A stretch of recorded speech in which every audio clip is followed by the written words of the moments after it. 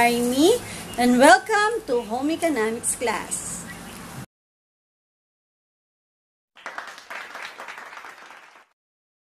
These pupils can make their own pillowcase using the electric sewing machine. Do you know the parts of the sewing machine? If not, let's go find out.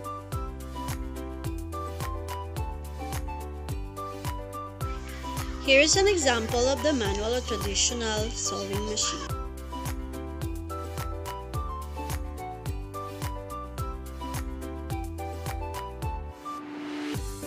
Let us observe the different parts of the sewing machine.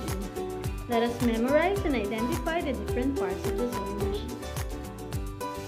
The electric and the manual sewing machine are almost the same. Let's have a closer look of the different parts of the sewing machine.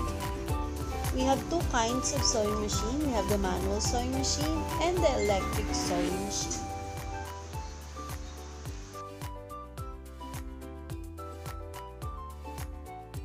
Spool pin holds the spool of the thread. It can be horizontal or vertical in place. The bed of the sewing machine. The role of this part is to stabilize the machine to rest in a permanent place. The feed dog. The feed dog speed the fabric in the sewing direction. The feed dog also pushes the fabric to sewing direction. The balance wheel is used to manually start the sewing machine. It sets the mechanism in motion. The screw. The screw is the one holding the balance. The presser foot applies pressure consistently on the fabric as the sewing takes place. Tension regulator. This determines the tightness or looseness of the stitch. Pickup lever. The lever pulls the thread back after each stitch. The bobbin case. It holds the bobbin in the machine and regulates the tension of the bobbin thread. The bobbin. It holds the bobbin thread.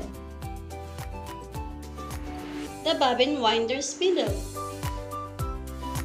It's the thread from the spool to the bobbin mechanically.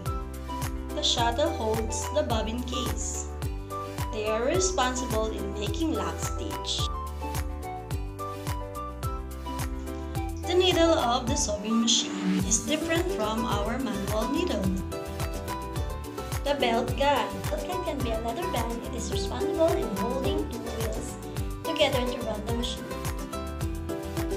The drive wheel is a large wheel under the bed of the sewing machine. The treadle is a foot pedal that is pushed back and forth.